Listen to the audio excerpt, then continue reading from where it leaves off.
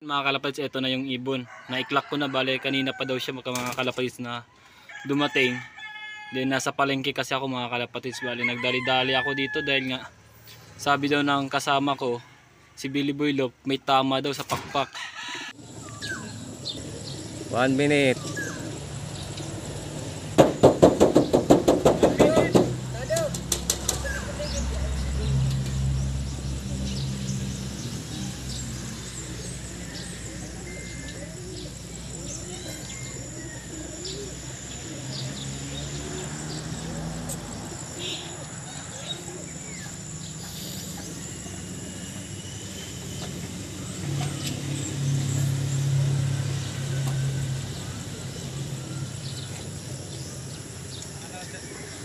Tardi, Balogan, Barangay Payaw, First Lap, PPC, Release 630. BE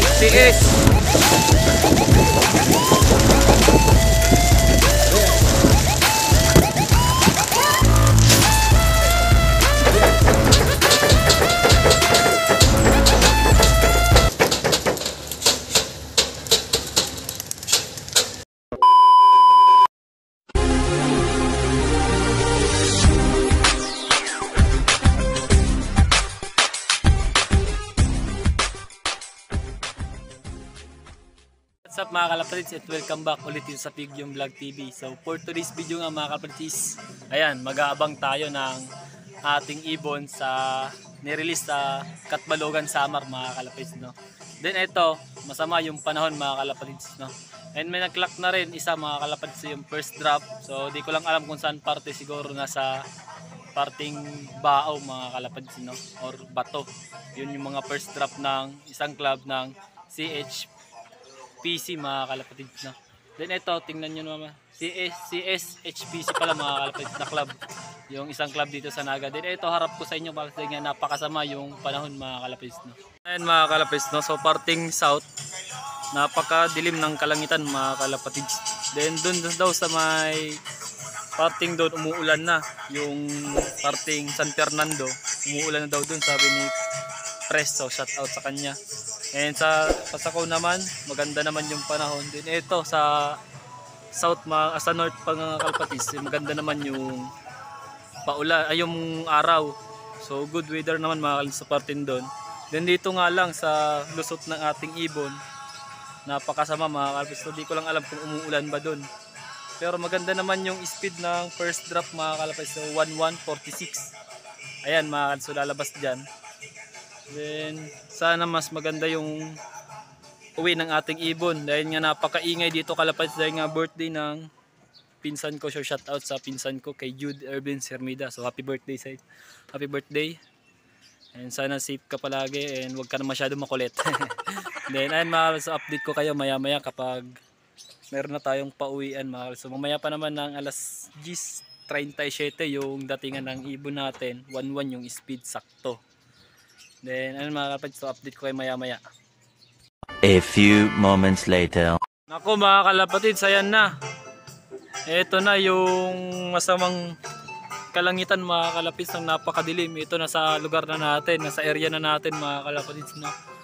Then sana wag lang umulan mga kalapatid dahil nga sure ko nandito na sa Camarinesor yung mga ibon.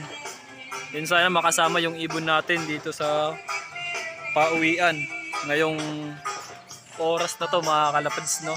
Dahil nga ito kung matatagalan pa yung ating ibon baka maabutan siya ng ulan. Dahil nga ayan doon daw sa unahan sa parting San Fernando umuulan na mga kalapatids. Then grabe napaka hard race nito mga kalapatids no? Grabe. Hard race ang kakalabasan nitong second lap namin mga kalapatids. Dahil nga talaga napakadilim dito sa area na to sa south. And dito naman sa norte ayos naman mga kalps no? no? Hanggang dito yung sama ng panahon na sa tumbok na tayo mga kalapit so sana hindi umulan. Then doon goods naman mga kalapit sa northeast. Then update ko nga kayo maya maya mga kalapatids kapag meron na tayo no? And update ko rin kayo kapag umulan na mga kalapatids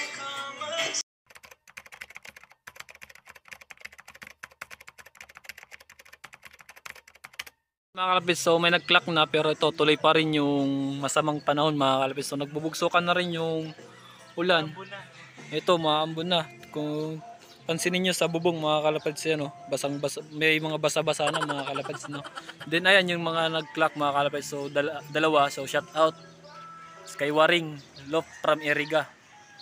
So, siya yung, sila yung mga first drop ng BEPC mga kalapatids. No? Then ayan, umuulan na mga kalapatids. Ayan o. Ayan, then shout out rin kay Rainlop TV. So supportahan rin natin yung YouTube channel niya mga kalapatids.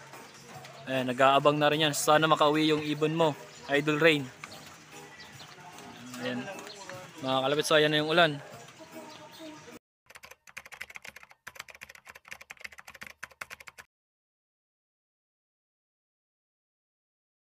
Na siya yan, napakalakas na mga kalapatids, inaabot na ako dito.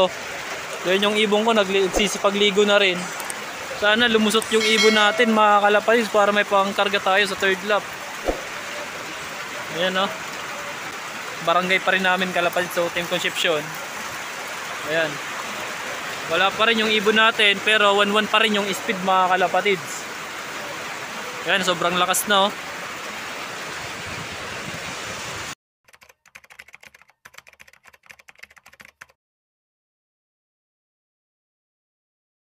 Mga kalapatid. So grabe nakakaba mga kalapatid dahil nga umuulan. Then may umuwi na rin sa parting sa amin mga kalapatid. No? Yun sana lumabas na rin yung ibon natin. So dito talaga mahahasa yung ibon natin. Masya challenge talaga mga kalapatid dahil nga ito. Ayan napakalakas yung ulan mga kalapatid. So talaga masya challenge yung ibon natin. So sana hindi siya tumukod mga kalapatid dahil nga kapag ang ibon natin once na tumukod sa oras ng kaulanan mga. So mamaya pa yan, lilipad. Magpapatuyo pa yan mga kalapis bago lumipad yung ating ibon. Kung sana nga, umuwi talaga siya, dito na siya magpahinga mga kalapatids. No? And shout out na rin kay Boss Empire and kay Aristoc and kay XX Clock. So sana maganda yung mga pauwian natin. No? Ito mga kalapatids, talagang kunti pa lang mga nagkaklak mga kalapads ayan. No, so sana nga dumating na. Then balikan ko kayo maya maya mga kalapatids.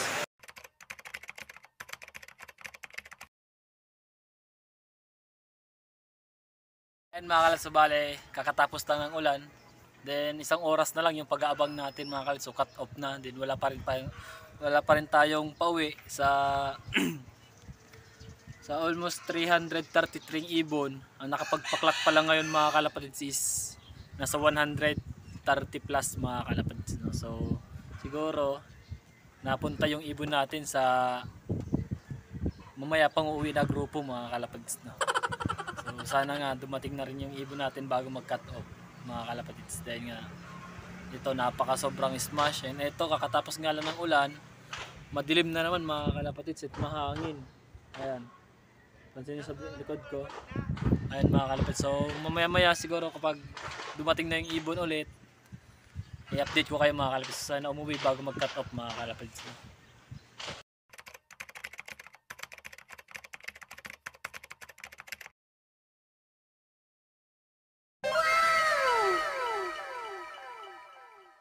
Ayan mga kalapits, bale cut off na. 12.56. Ayan, cut off na tayo mga kalapatids. And, ayan, hanggang ngayon mga kalapits, masama pa rin yung panahon. So sana makauwi yung ibon ko mga kalapatids. No? Yan ito. So congrats sa mga nakapagpaklak. So grabe mga kalapatids, so hard race talaga yung kinalabasan dahil nga sa 333 birds mga kalapatids entry sa second lap.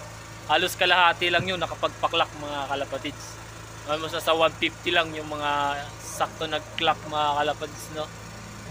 Then marami maraming kulang pati sa isang club mga kalapatids marami rin hindi nakapagpaklak. Pero sa ngayon mga kalapatids, so may mga nag-uuwian pa naman mga kalapatids. So mag-aabang pa rin naman ako sa hanggang bukas mga kalapatids. Pero kung hindi na talaga pala rin, dito, ito. Ayan. Lilipat ko na yung lock ko mga kalapatids. So kung hindi man ako pala rin sa hanggang bukas na makapagpauwi. Dahil nga siguro kung umuwi naman siya Martes, hindi naman natin siya may kakarga mga kalapatids no parang ibiningit na natin siya sa kamatayan kung ikakarga pa natin yung ibon natin kung umuwi siya ng Martes no Dahil talagang pagod na pagod, payat na payat yan mga kalapatids kapag 3 days yung ibon natin na umuwi galing Katbalogan Samar. So payat na payat yan mga kalapatids. Bale. Ayan. So sana umuwi ngayong araw and bukas. So para may recover pa rin natin mga kalapatids dahil nga sayang yung ibon. So pinagandaan pa naman natin to kalapatids ng South. So ayan. Bale sana is nagustuhan nyo pa rin tong video ko mga kalapatids no. So congrats nga pala sa aking YouTube channel dahil nga palapit malapit na tayo mga kalapag 2,500 subscriber mga kalapatid. So sala maraming salamat sa inyong pagsuportang tunay sa aking YouTube channel mga kalapatid. So sana lagi nyong suportahan. At kung bago ka pa lamang sa aking YouTube channel ay huwag mo nang kalimutan na mag-like, share and subscribe mga kalapatid. And syempre hit na rin yung notification bell para like and update sa aking mga susunod na video mga kalapatid. No? Kaya na, dito ko na tatapusin tong video mga kalapatid. So ingat na lang and God bless sa inyo mga kalapatid.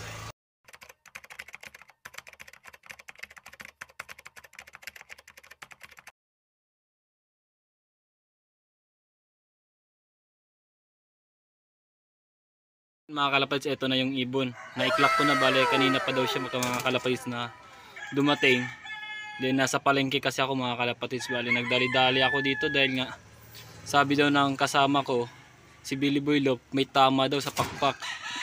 Pero na-check ko kalapads, wala naman tama. And naklak ko siya ngayon kalapads bandang alas 3, e medya. Nag-speed pa siya mga kalapads ng 522. Then sayang nga lang mga kalapis kung sig- siguro kung hindi umulan, magkaklak pa tong ibon na to. Then nilagyan ko na rin siya mga kalapis ng itlog. Bali hindi yan, hindi sa kanila yan. Baka sakaling limliman nila pang motivation pa mga kalapatid sa ating ibon. Ayan. And sayang pero ikakarga pa rin naman natin siya mga kalapatid. No? Kung pansin nyo mga kalapatid, hindi siya durog. And tumukod nga siya mga kalapatid. Ayan. Then meron na tayong pang Tacloban, MacArthur mga kalapatids. Ayan, may isasalang na tayo sa third lap. Sayang nga lang butas na siya ngayon mga kalapatids. Bali one live sa San Ricardo, then cut off siya ka ngayon oras mga kalapatids. Sayang lang kung di siguro umulan talaga mga kalapatids. Ayan no.